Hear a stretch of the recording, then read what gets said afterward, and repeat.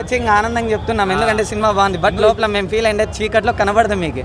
అంత బాగుంది. యశోద మూవీ కన్నా బాగుందన్న యశోద అది ఒక పార్ట్ అదే ఇది ప్రెగ్నెన్సీ గురించి అలా. ఇది పూర్ణకాలం. రాజుల కాలం. అదే అదే ఇది ఇదే. రెండు బాగున్నాయి. ఇంకా మీరు ఓబేబీతో అన్ని కంపేర్ చేయకూడదు. ఏ మూవీ ఆ మూవీ సినిమా మొత్తంలో ఏది బాగుంది ఏ సన్నివేశం బాగుంది? పులిసింది అన్ని సీన్స్ బాగున్నాయి. మూవీ మొత్తం విజువల్ ఎఫెక్ట్స్తో సూపర్ ఉంది.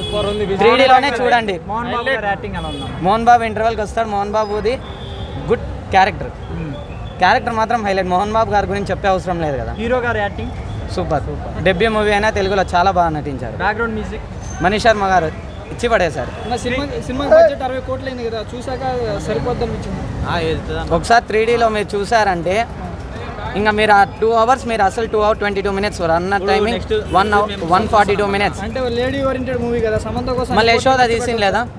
ఓ బేబీ తీసిన అది లేదా? తక్కువ- అది తక్కువ బడ్జెట్ కదా. ఇది తక్కువ బడ్జెట్ ఏం కాదు. అయినా ఎట్లా వచ్చింది? రేంజ్ అయితే వెరిసింగ్ అన్న సినిమా. అయితే మెయిన్ సమంత సమంత. ఇప్పుడు జరుగుతా ఉండేది మొత్తం అది. సమంత కోసం ఎన్ని కోట్లని పెట్టచ్చు అంటారా ఊర్లో అంటే ఇంకా బడ్జెట్ కంటెంట్ కంటెంట్ ఉండాలన్న. ఇప్పుడు శామ్ యాక్సెప్ట్ చేసిందంటే కంటెంట్ ఉండే కదా.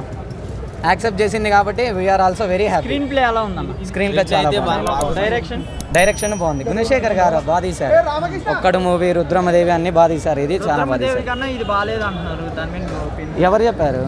చూసి అది చెప్పిండే వాళ్ళని అడగాలి. చెప్తారన్న. చాలా ఎవరైనా వ్యూస్ కోసమే చూస్తారు. First point. Watch this movie with your. Family and enjoy in three D three D effects Samantha గారి యాక్షన్ ఎలా ఉందన్న? చాలా బాగుంది. మూవీ మాత్రం చూడండి. సీన్ సీన్ చాలా బాగుంది. ఫస్ట్ హాఫ్ అంతా లవ్ ట్రాక్తో నడుస్తుంది సెకండ్ హాఫ్ కొన్ని ట్విస్ట్స్తో మూవీ చూశాక మాట్లాడండి ట్రోల్ చేసేవాళ్ళు.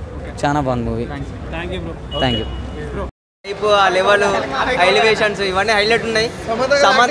సమంత గారి యాక్టింగ్ అయితే చింపి పడేసింది డైరెక్ట్ మొత్తం ఇక సమంత అంటే తెలుసు మొత్తం టాలీవుడ్లోనే టాప్. సమంత అయితే హైప్ ఇట్లా లేపింది మొత్తం సినిమాని.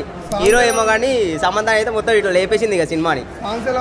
సాంగ్స్ కొంచెం రొమాంటిక్ ఉన్నాయి బ్రో కొన్ని కొన్ని సాంగ్స్ కాకపోతే కొంచెం డౌనే ఉన్నాయి మరీ అంత హెవీ ఏం లేవు.